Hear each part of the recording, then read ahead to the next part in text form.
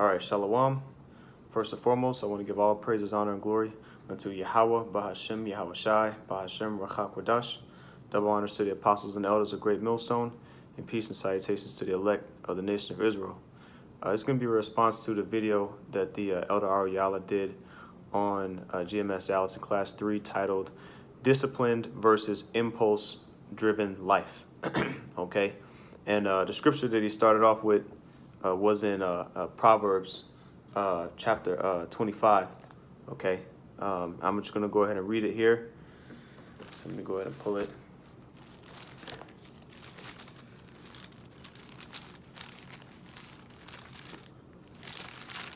Proverbs chapter 25 and verse 28. It says, He that hath no rule over his own spirit is like a city that is broken down and without walls. Okay, and uh, you know that was uh, one of the one of the first words that kind of popped in my mind when I when I heard uh, when I read the scripture. You know, and I tried to think of uh, you know uh, not being I'm sorry being impulse driven. Uh, you know, the word came and it was hasty. You know, you can't you know have a spirit of just trying to get everything done with the quickness okay? Because that's the spirit of, that Esau has. He doesn't have any patience, all right? Um, so you have to have rule over that, over your spirit, you know, which requires patience. And, uh, you know, that word rule in the Hebrew, I looked it up, uh, in the Hebrew is ma'ai tazar, ma'ai tazar, okay, uh, which means uh, restraint or control.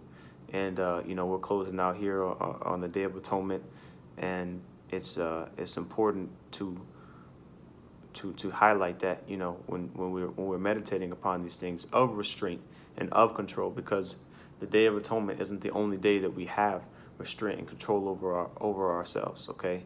It's supposed to be every day when we practice that and we meditate on uh, uh, gaining more control over our spirit okay? Ruling our spirit and and being um, uh, being spiritual you know throughout the entire year of course. So but the day of atonement is, is a day specifically where we uh, reflect, okay, on uh, the things that we need to get better at through the Spirit. And so, uh, uh, this is going to be an edifying lesson. Just wanted to uh, kind of go uh, based, uh, based off of that premise. All right, so I'm going to read the scripture again in uh, Proverbs 25 and 28. It says, "He hath no he that hath no rule over his own spirit is like a city that is broken down and without walls." Okay, makes me think of Jericho uh, during the time of uh, uh, uh, Joshua, okay, when our people marched around Jericho uh, on that seventh day and those walls came down. Matter of fact, let me see if I can just go ahead and pull it real quick. Um, Joshua. Let me see.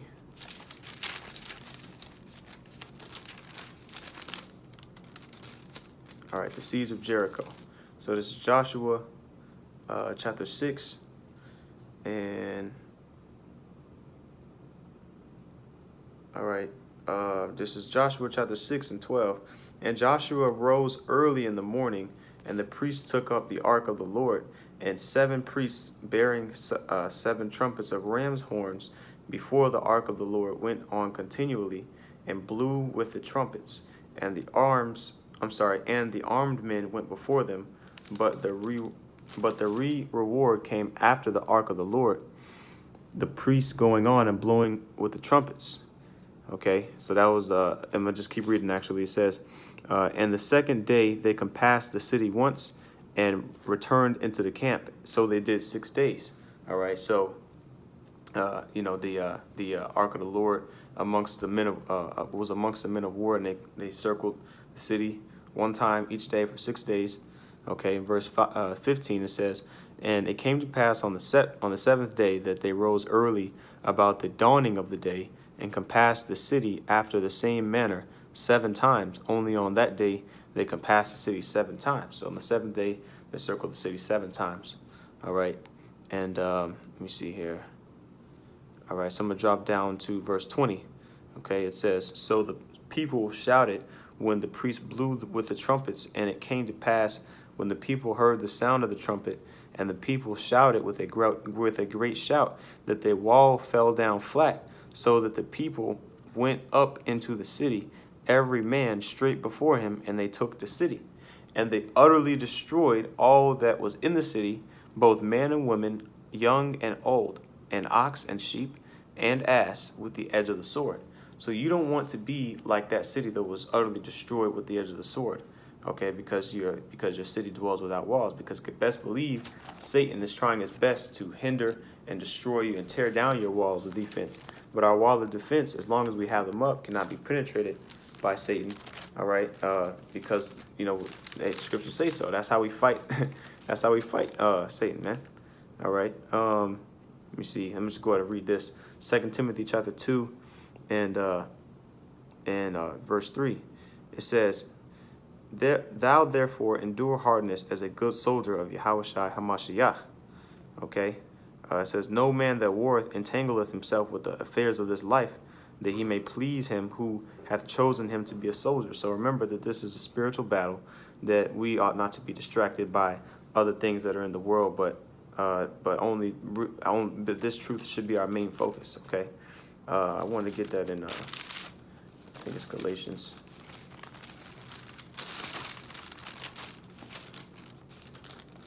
See.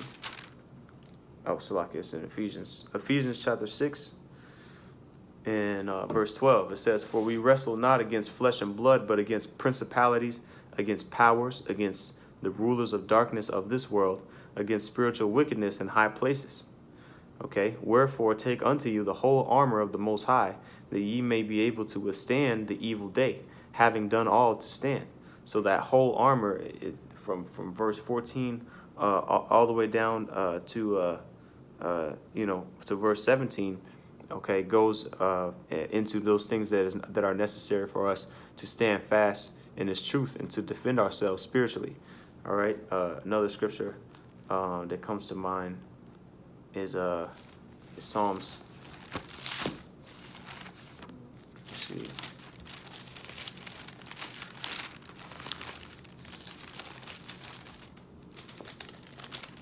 All right, Psalms chapter 91 and 1. He that dwelleth in the secret place of the Most High shall abide under the shadow of the Almighty. I will say of Yahweh, He is my refuge and my fortress, my power in whom I will trust.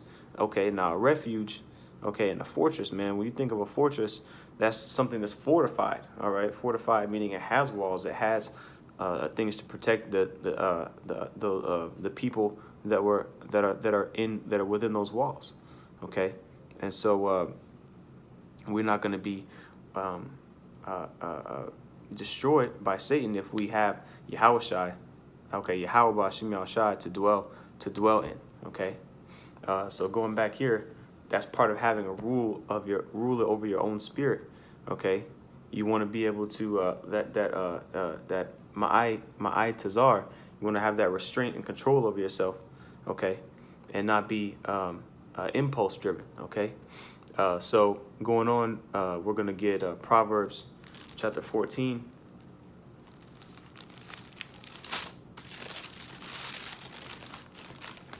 Okay, this is Proverbs chapter 14. And uh, wow, this is spirit. I'm going to just read this. I'm going to read up real quick. Proverbs 14 and 26. In the fear of Yahweh is strong confidence and his children shall have a place of refuge. Okay, that strong confidence is the fact that we can stand in the, uh uh, uh, uh, we could look at fear, all right, with boldness. I'm sorry, look at death with boldness, okay, and not be not be fearful. The Most High has not given us the spirit of fear, but of uh, but of but of strength. Roughly paraphrase. Let me get that in uh, Second Timothy. All right. Uh, Second Timothy chapter 1, verse 7. All right. Um, For the Most High hath not given us the spirit of fear, but of power and of love and of a sound mind. Okay. So a sound mind is, is the ability to break down the scriptures properly, the ability to judge properly. Okay. And uh, the spirit of the spirit of power. that's the Holy Spirit, man. That's that spiritual power that we look for. Okay. And the Most High has given that to us, and also of love. Of course, you want to have uh, charity and, and, brotherly love. You want to be appreciative for the fact that Yahweh Bashim Shai brought this uh, truth unto us. Okay, uh, so there's many there's many things to to think about, uh, not only on this day, especially on this day, but moving on forward as we continue on in uh, 2018, the year of prophecy. Okay, so uh, going back to Proverbs chapter 14, verse I read verse 26. I want to get um, verse 29. All right, so it says, "He that is slow to wrath is of great understanding."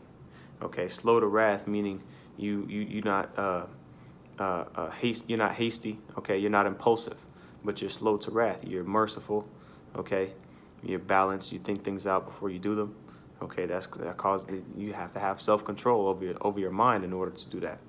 Okay, um, it says, "He that is slow to wrath is of great understanding, but he that is hasty of spirit excelleth folly." Okay, so you're bringing uh, confusion, folly, um, uh, meaning uh, uh, uh basically uh, playing around, okay, when this truth is deadly serious, man, okay? So you don't want to you don't want to make a hasty decision, okay, or do something without thinking about it, being impulsive, okay, because you're you're bringing forth folly, you're excelling folly, okay? When you excel at something, that means you, you you're good at it, Okay, so you you're bringing it forth and you you're pushing it forth folly when you're when you're being hasty, when you're not, when you're being impulsive, and when you're not thinking things through. Okay. Um, you see, uh, next scripture I want to get is uh, Proverbs.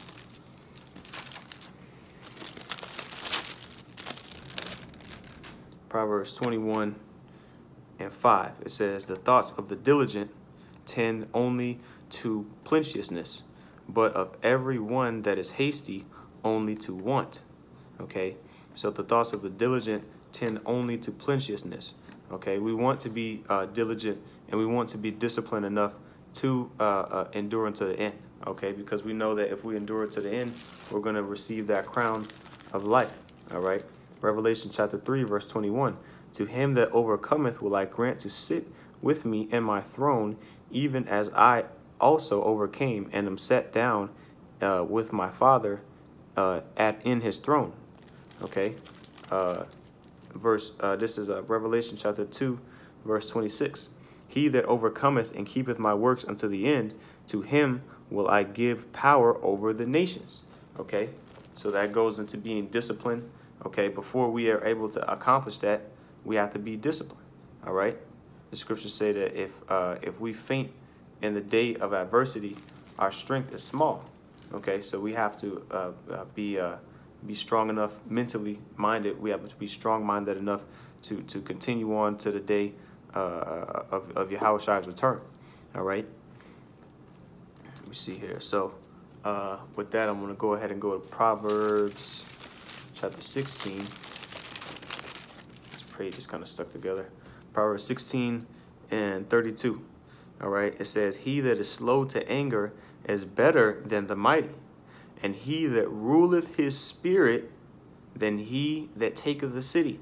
Okay, so those men that we just read about in Joshua chapter 6, when they took over the city of Jericho after the, after the Lord brought down those walls, okay, uh, uh, if we if we rule our spirit, we are are are are better, okay, and we are better than that. Okay, it's better to do that to rule our spirit than than to take the spoils of another city okay? Because if you don't have your uh, uh, spiritual walls up, then your city is going to be overthrown and taken down, okay?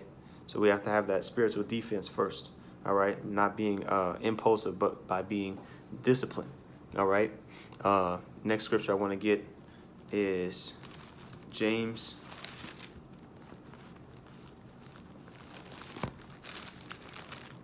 All right, this is James chapter 1, verse 2 it says, uh, My brethren, count it all joy when ye uh, fall into diverse temptations, right? Because uh, this uh, these temptations uh, cause you, uh, which cause you cause you to which cause you to suffer, requires patience. Okay, to see Yahweh, uh, Bashim Yahweh bring you out of those situations. Okay, as a matter of fact, that was that was part of that was part of the definition that the elder Ariala brought out uh, when he bring when he when he when he described uh, discipline, okay, uh, uh, teaching, suffering, and and martyrdom, okay. So you have to be focused on being disciplined daily. Okay, as he said in the lesson in the video, and so uh, teaching, you know, being diligent. Okay, uh, um, uh, it says suffering. Okay, we're reading about that now. Okay, and and and uh, and martyrdom. Okay, which uh, which we'll get here in a second. But this is uh, James chapter one, uh, continuing on in verse three. Knowing this, that the trying of your faith worketh patience. Okay, and when you look into that word patience, it, it basically means to be able to be suffered, uh, to able to suffer, be able to suffer without being annoyed. Okay, but just going through it and sucking it up. That's called girding up your loins. You see, um, it says, uh, uh, "But let patience have her perfect work, that ye may be perfect and entire, wanting nothing." Okay, and eventually uh, you, are not going to to want anything uh, to do with this flesh. Okay, we're we, we're getting to a point where we're spiritually abounding, especially when we're fasting. It it, exempl- it exemplifies it. Okay, when, when we when we reflect on uh, uh you know uh, receiving uh, um, receiving blessings from Yahweh Bashim Yahshai and understanding from Yahweh Bashim Yahshai, we want we want those things. We want we want the we want the Lord's food okay spiritual food more than uh more than more than actual food all right? And i'm gonna go ahead and get this precept in uh in the book of uh, saint john. I believe it's saint john chapter 4 yeah this is saint john chapter 4 verse 31 in the meanwhile his disciples prayed him saying master eat but he said unto them i have meat that ye know not of Okay, now uh, when the scripture says, I have meat that ye know not of, those are the words of Yahushua. Okay, now uh, disciples were asking him to go ahead and eat. Okay, well, you know, and he and Yahushua was telling them that he already had meat. He already had food that, that, that the disciples didn't know about. Okay, verse 33 Therefore said the disciples one to another, Hath any man brought him aught to eat? So they didn't understand that he was talking about uh, something else outside of a physical meal verse 34. Yahweh uh, saith unto them, My meat is to do the will of him that sent me and to finish his work. Okay, we are supposed to want to uh, uh, uh, to eat. Um, we're supposed to want to do the work of Yahweh Yahushai more than than really eating, man. Okay, we're supposed to want to please the Lord more than anything on the earth. All right, and uh, that's the spirit that Job came in into. I'm gonna get that precept real quick. All right, this is Job uh, chapter 23, verse 12. It says, Neither have I gone back from the commandment of his lips. I have esteemed the words of his mouth more than my necessary food. Okay? And really, man, when you really, really get down to the nitty gritty, we are we are supposed to want to be in the spirit more than anything. You know, we we we want to we want to we want to be in the spirit more than anything, man. You know, the spirit had me say it twice, but really, uh, that's what we strive for. You know, we strive for perfection. So, um, you know, when when we're in this spiritual zone, okay, it's important to to highlight that, okay, and ask you how about Shemel Shah, Babu Shah, you know, Help us to want to be more spiritual. Help us to cast off the flesh. You see? I'm going to get this uh, uh, scripture here in uh, Baruch. See. All right, this is Baruch chapter 4, uh, starting at verse. see, verse 25. It says, "My my my children." Suffer patiently the wrath that has come upon you from the Most High. For thine enemy hath persecuted thee, but shortly thou shalt see his destruction, and thou shalt tread upon his neck. Okay? Like I said, this is the day that we really earnestly hope for, really wait for, okay? And, uh, uh you know, the thing is, you know, we, we, we're willing to suffer, okay? We're willing to be persecuted we're willing to be martyrs for Yahweh Bashim Yahshai. Okay? And so that's why we suffer patiently. Matter of fact, let me get that in uh get that in uh Revelation, Revelation chapter 6, verse 9, it says, And when he had opened the fifth seal, I saw under the altar the souls of them that were slain for the word of the Most High, and for the testimony which they which they held. and for the testimony which they held.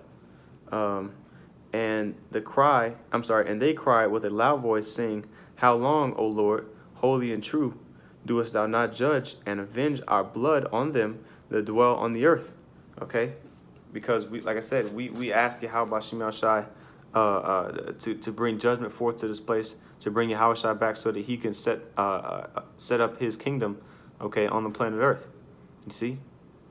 And so uh, we're gonna have to. Some of us are gonna have to be martyrs. Martyrs, man. I'm gonna keep reading.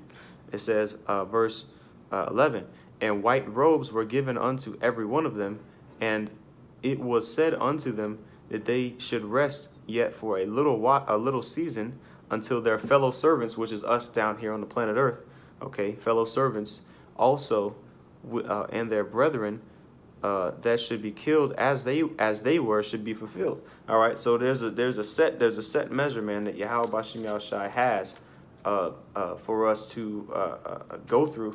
Okay, until He sends back His Son. Okay, until the until the Lord comes back to redeem us. Okay.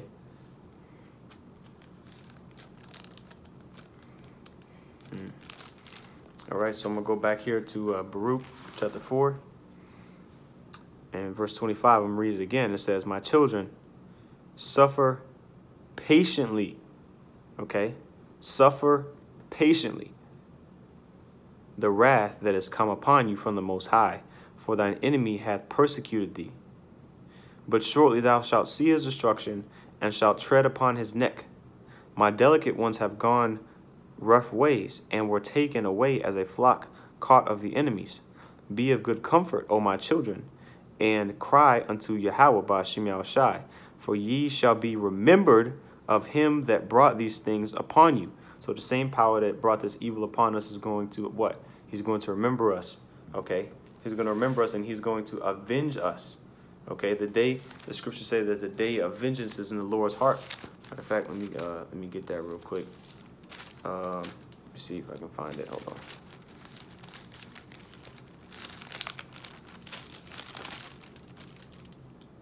Um, nope, that's not it.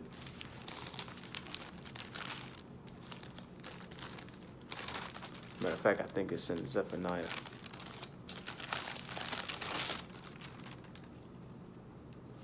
There's one, but let me see if it's in Zephaniah. Let me see.